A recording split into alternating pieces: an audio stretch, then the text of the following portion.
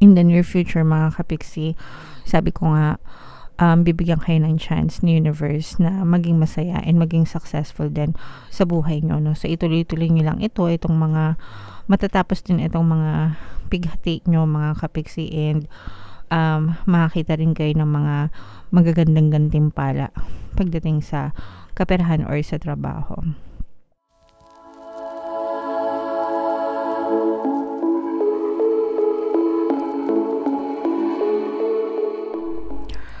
Hello guys, hello Taurus.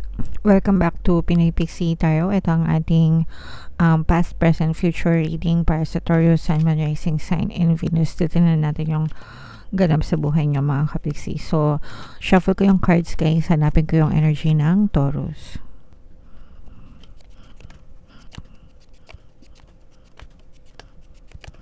Alright, so Taurus kayo ay na-represent ng Father of Pens sa ating spread mga kapiksi.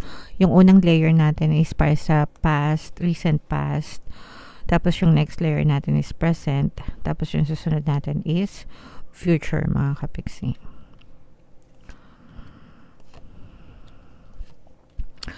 So, for some of you mga kapiksi, meron tayong presence dito ng fire sign, no? Aries, Leo, Sagittarius.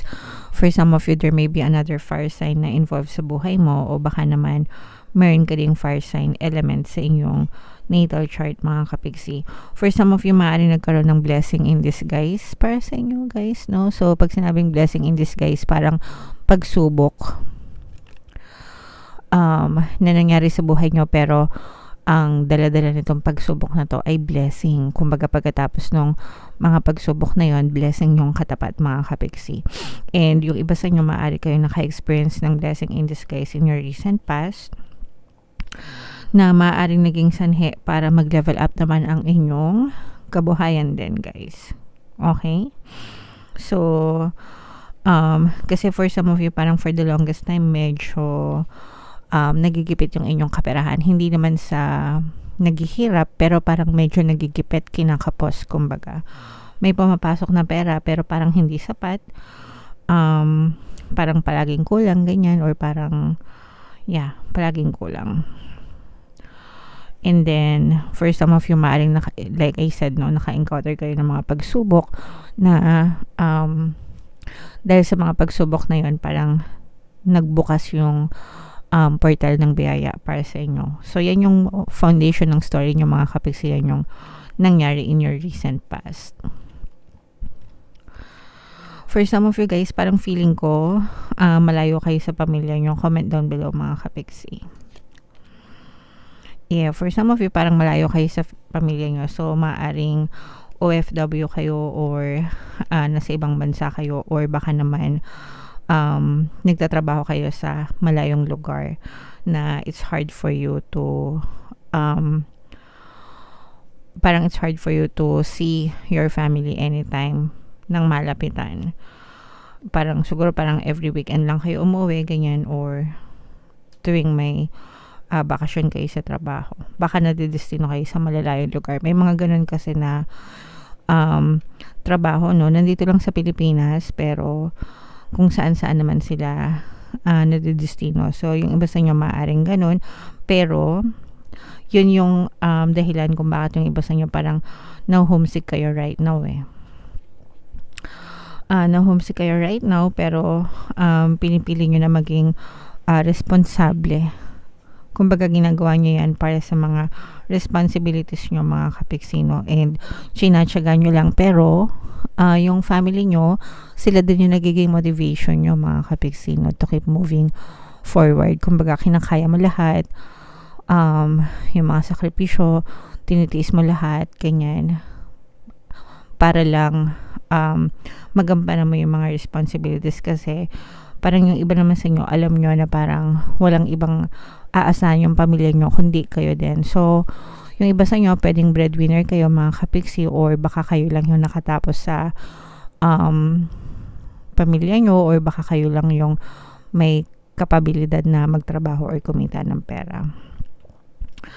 Um, pero nakikita natin dito guys na talagang ano no um, matyaga no yung energy ng pagiging matyaga nyo mga kapigsiyan na magdadala ng success sa inyo in the near future. So, yung iba sa inyo mga kapiksi right now sa present energy nyo, nakikita natin yung pagsisikap at pagtsatsaga nyo, guys.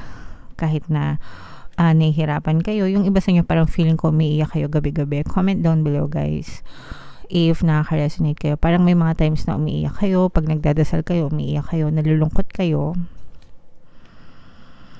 Pero, um, in the near future, mga kapiksi, sabi ko nga, um, bibigyan kayo ng chance ni universe na maging masaya and maging successful din sa buhay nyo. No? So, ituloy-tuloy nyo lang ito, itong mga, matatapos din itong mga pighati nyo, mga kapiksi, and um, makakita rin kayo ng mga magagandang gantimpala pagdating sa kaperahan or sa trabaho.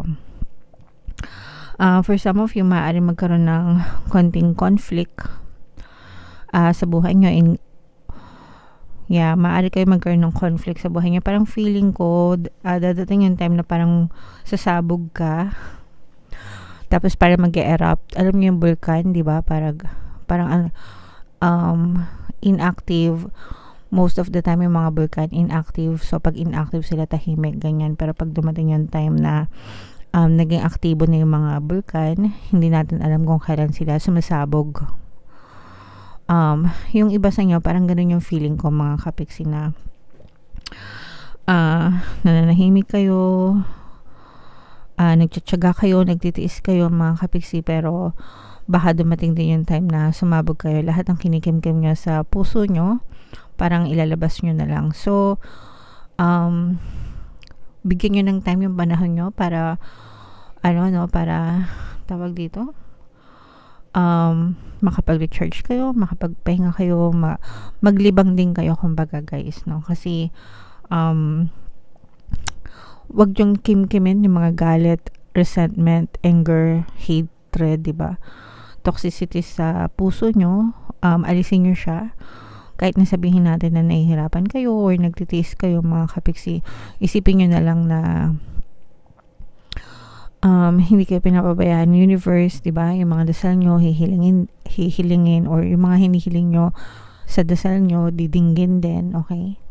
And matatapos din yung mga kalbaryo, yung mga pagsubok niya sa buhay mga kapiksi gagantimpalaan din kayo ni universe kasi sabi ko nga in the near future magiging successful kayo and bibigyan kayo ng chance ni universe para um, makaraos maging um, kumbaga maging ma-okay na yung inyong kalagayang financial. So, persist lang mga kapiksi. Push-push nyo lang mga kapiksi, okay? Um, and enjoy-enjoy din paminsan-minsan para hindi naman kayo ano, alam yun, parang hindi naman kayo ma-depress ng bonggam-bongga na. Yung iba parang feeling ko kasi yung iba sa inyo nagsa-self-pity. Okay? Alright. so, yan yung mga uh, messages para sa inyo, Taurus tingnan natin yung mga additional mensahe sa inyo gamit itong uh, mga deck na to. Habang sinashuffle natin to guys, naka-flash sa screen nyo yung mga updated offers sa ating channel. So, una, meron tayong paano mag-manifest ng abundance video course. It's a video course, it's a paid course para sa mga kapiksi natin na gustong umaman, umunlad, umasenso, sumagana, maging matagumpay, maging successful, maswerte sa kanilang kabuhayan, pera, trabaho, negosyo sa lapi uh, money, money, money in general. Okay, so wag na kayong magpauli mga kapiksi kasi um, dumadami na yung success stories niyan. Sayang yung oras. Kaya kung gusto niyo mag-avail, mag-avail na kayo mga kapiksi. And meron tayong another offer guys, yung email coaching manifest your desires using the law of attraction. So yun naman guys, if meron kayong mga specific na gustong i-manifest sa buhay nyo, pwedeng love and career, sorry, love and relationship or money and career. Yung usual na natatanggap natin sa love na yung mga gustong maging ma-okay yung relasyon nila, maging ma-okay sila ng person nila, ganyan. And then sa money or career naman, pwede yung um, gustong ma-promote, gustong tumaas sahod, gustong dumami yung mga customers, mga ganyan. Okay? So, for promos and discounts, mga kapiksi, mag-send lang ng email sa pinipixitaro at gmail.com. Alright, so ito yung mga additional messages para sa inyo guys, no? Unang-una, ito yung sinasabi natin, maging handa sa pagtanggap ng mga biyaya, mga blessings, no? Receptivity ito guys, no? Allow yourself to receive. This will increase your intuition, energy, and ability to give to others. So, yung mga blessings guys, nandiyan lang yan sa paligid, yung mga resources. Lahat tayo um, may access dyan. Kaya lang yung iba, Um, kaya hindi ito dumadating sa buhay nila or hindi nila na-experience because they're focusing too much on luck. Lack, no? Ibig sabihin, kakulangan um, by, you know, continuously complaining, ganyan, palagi nagre-reklamo, palagi na lang uh, focus ang focus sa kakulangan, kakulangan, kulang sahod ko, maliit sahod ko, hindi ako kumikita ng malaki, etc., etc., ang taas ng bilihin. So, di ba? Um, the more na sinasabi nyo yon you're already affirming, uh, affirming that mga kapiksi and um, tinatanim nyo yon ng malalim sa subconscious mind nyo. Therefore, it will always be reflected back in your 3D, in your reality.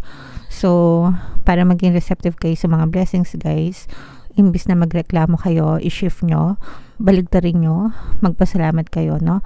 Um, gratitude um, always be grateful, always magpasalamat and appreciate nyo yung mga blessings na dumadating sa inyo no matter how big, no matter how small mga kapiksi. So, thank you kasi sa masweldo pa ako. Thank you kasi may trabaho pa ako. Thank you kasi nakapag-overtime ako. Thank you kasi may pambayad ako ng bills. Thank you kasi may pambili ako ng pagkain. So, yung mga ganun.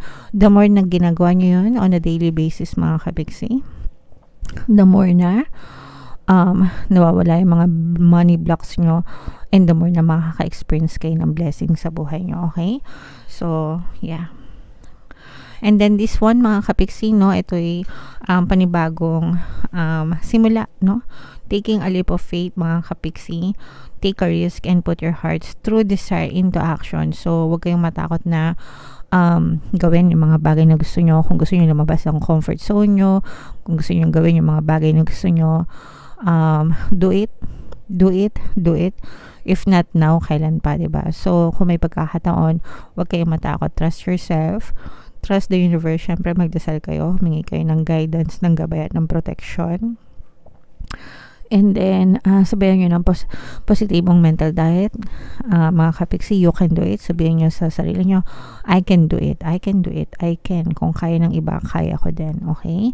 So, ganun lang mga kapiksi para talagang makita kayo ng progreso and wag kayong matakot. Malayo pa yung mga pwede nyong marating sa buhay. Alright? And then, this one mga kapiksi, no, is, um, ito yung sinasabi ko na parang next na raramdaman ko yung sobrang lungkot nyo mga kapiksi na parang nagiging sensitive yung iba sa inyo too much depression ganyan ganyan so um, layo-layo sa mga uh, toxicity and negativity sa paligid mga kapiksi. Alright? I-divert yung attention sa ibang bag- bagay. Again, sabi ko nga, imbis na magreklamo kayo, focus on gratitude mga kapiksi. Appreciate yourself, no? Um, avoid negative self-talk mga kapiksi. Um, sabihin mo sa sarili mo na magiging masaya ka rin because deserve mo maging masaya. Okay, magiging okay ka din kasi deserve mo maging okay. Um, pagpapalain ka rin because deserve mo yung mga blessings at pagpapala. Alright? So, yung mga ganun, mag-focus ka sa mga positive self-talk para maiwasan, mabawasan yung mga depression nyo sa buhay. Alright? Okay. So, Taurus, comment down below if nakaresonate kayo sa reading nito para sa inyong mid-month, mid-May kapalaran. Ito yung video nyo kung hindi nyo pa napapanood. Panoorin nyo na and ito naman yung ating success stories na paano mag-manifest ng abundance video course.